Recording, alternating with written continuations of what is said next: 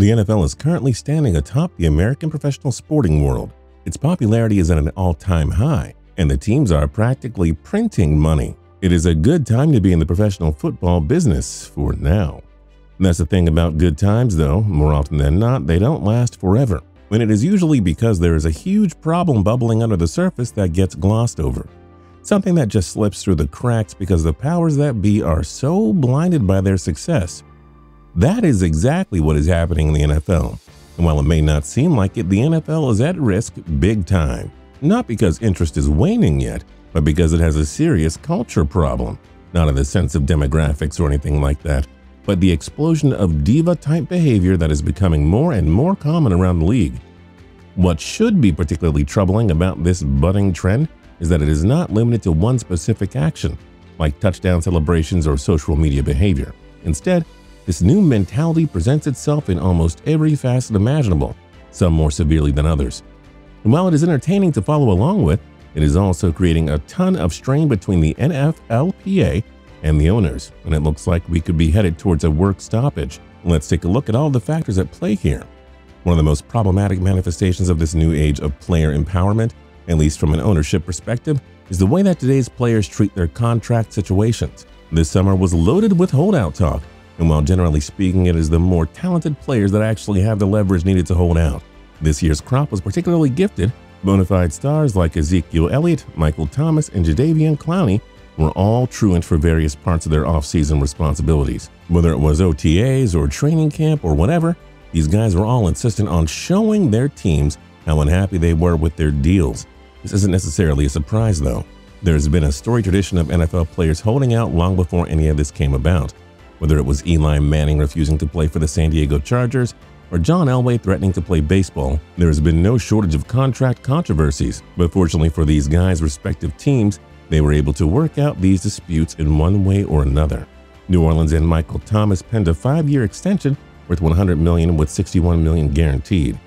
Dallas waited around a while, but ultimately gave Zeke a huge six-year, $90 million extension and got him on the field before the season started. Houston ultimately decided on shipping out Clowney to Seattle for Jacob Martin and Barkevious Mingo and a 2020 third round pick. So while the Texans did have to ship out a quality talent, at least they were able to bring in a couple of guys that will help to fill some of the gaps on their roster. What's crazy is these are just the holdouts that went well for the teams this year. Out of Los Angeles, Melvin Gordon ended up sitting out well into the regular season while waiting for a new deal. In Washington, it looks like offensive tackle Trent Williams, who by the way has been selected to seven straight Pro Bowls, has every intention of sitting out until his contract gets ripped up and rewritten. Although considering the middling status of the Washington franchise, Maybe Williams just wants to be anywhere else, and I don't think anyone would blame him for that. Anyway, all of this comes off of a season when we saw franchise players like Le'Veon Bell literally sit out the entire year during a contract dispute, and this is a troubling trend for the NFL. We are all aware of the physical risks that NFL players put their bodies through week in and week out. And it is true, most of them do have a short career window to try and rack up as much earnings as they can. But the heartbeat of the NFL's fan base is a blue collar, common man type of people, and watching millionaires squabble with billionaires over money is definitely starting to put a bad taste in a lot of fans' mouths.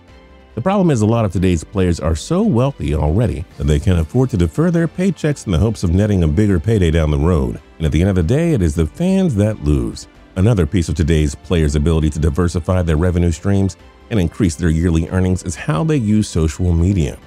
Social media also ties into all of the contract disputes that have been popping up left and right. Instead of having to call a press conference or go through their agents to voice their displeasure, players have the ability to shout out to the entire internet right at the tips of their fingers. Like Melvin Gordon retweeting fans who were tweeting comparisons between him and his replacement, Austin Ekeler, during his holdout. Either they go through their own social media, or they do something to grab the attention of other people's social media knowing it'll go viral. Like when Stefon Diggs, a malcontent in Minnesota, wore cleats with a popular meme printed on the side of them that simply states, I, I'm a head out now. The crazy thing, too, is that afterwards the players are usually coy with the media and act irritated that they are questioned about something that they so obviously did to draw attention to themselves and their grievances. It seems like it is just way too tempting for players to use social media to stir the pot in these situations, and it is creating big time distractions for their teams.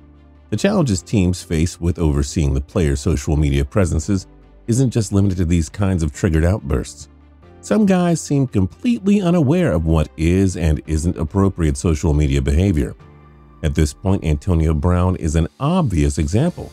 Anyone with even an inkling of interest in the NFL is sure to have heard about at least one of his recent social media outbursts. Whether it was him and Cleveland Browns quarterback Baker Mayfield trading digital jabs, or Brown mouthing off about all the money his behavior cost him in Oakland and New England, there has been no shortage of talking points for those interested in sourcing his name.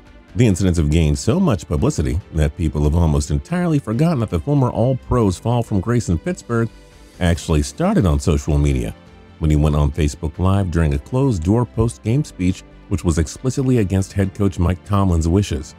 That was undeniably a turning point for Brown in Pittsburgh, and it has since spiraled so far out of control that his future in the league is now in doubt, despite him being one of the most talented wide receivers around. What's particularly interesting about the team's inability to dictate how their players use social media is that the teams themselves and the NFL as a whole seem to have a rather archaic view on how to even use it themselves. And it hasn't been for a lack of trying. There really isn't a single social media service that the NFL hasn't yet partnered with for short or long term form programming so far. Twitter, Facebook, YouTube, Amazon, Snapchat, and now back to Twitter via Periscope. You name it, the NFL has at least tried it. But where the league has run into trouble is it seems to want vertical control of all of the digital content that comes out of its product. So while the NBA deploys a laissez faire, free market type of policy, which allows fans, players, teams, media, whoever, to post whatever NBA content they want, if users post NFL content, more often than not, it will get taken down and reported for copyright infringement. The NFL does this to try and maximize the profits it rakes in via social media advertising and digital partnerships. But based on how digital marketing is helping the NBA gain ground on the NFL, it looks like the NFL may be missing the boat on this one. It is entirely possible that the value of allowing fans to share content and generate an organic buzz around the league's moments is actually more valuable than just selling advertising space. And that is exactly what we are seeing happen with the NBA. Every time there's a viral hoops moment, whether it's Twitter or Instagram or Snapchat, if you're, you know, one of those people that still uses Snapchat, don't we use TikTok now? But anyways, one of them is buzzing with hilarious posts from relatively anonymous users.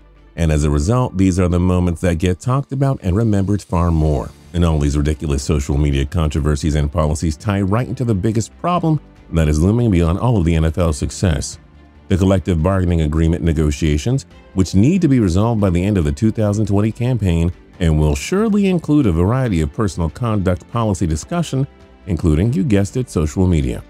But the depths of the upcoming CBA are far more treacherous than just discussing who can post what, when, and from which platform. There are some very contentious trade chips that both sides are stubbornly clinging to, which could easily result in a strike or a lockout if they aren't careful. The two categories where these issues fall are pretty simple economic and non economic. The economic issues boil down to exactly what you expect. Both sides want more money. In this case, there are two primary aspects to watch for. First, how the parties decide to adjust the proportions of the revenue sharing model. The current CBA provides that the player's share of revenue average at least 47% of all league revenue over the 10 year life of the deal. That will obviously be a sticking point for the NFLPA, because they feel that, at the very least, if they can't get fully guaranteed deals, the revenue share needs to increase. The second part, which is one of the least talked about but most important aspects to the owners, is replenishing their supply of stadium credits. The NFL CBA traditionally provides NFL owners the ability to take money off of the top of the revenue pile before splitting it with players if they wanted to use it for stadium construction or renovation. And while they were still allowed to do so under the previous CBA, they effectively ran out of money already so the players actually have some pretty significant leverage heading into these negotiations. Now, the non economic side of these negotiations is where it gets way more complicated than just sorting out how the NFL wants players and fans to use social media. Interestingly, the two issues are pretty deeply intertwined the personal conduct policy and the NFL's judiciary process.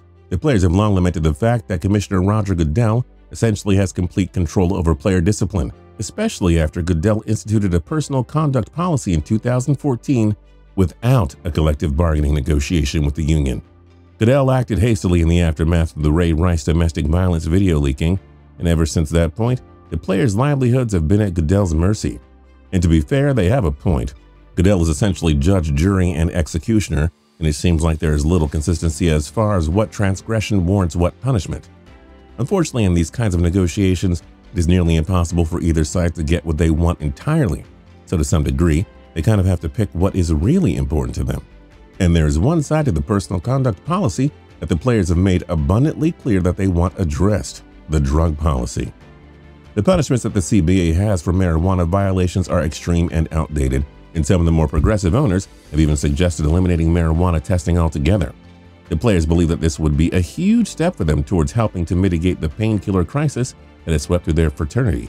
It does seem like the penalty for marijuana use will at the very least be significantly decreased, if not eliminated, but it will for sure come at the cost of a concession, so it will be interesting to see what the two sides agree on. It would be foolish to say that the NFL is at risk of disbanding anytime soon. The league is simply doing too well. But if the powers that be don't start to think a little more progressively about how they treat both the players and issues, like the personal conduct policy, social media policies, and the all important upcoming CBA negotiations, the league is putting itself at a huge risk. Hopefully, they will be able to find a middle ground, but if the negotiations stall, look out. There could be a serious work stoppage coming. If you're new here and you're not subscribed yet, feel free to click the subscribe button down below. If you like the video, then like the video. We'd really appreciate it. Last but not least, don't forget to tune into TPS every single day for more cool videos. We'll see you next time.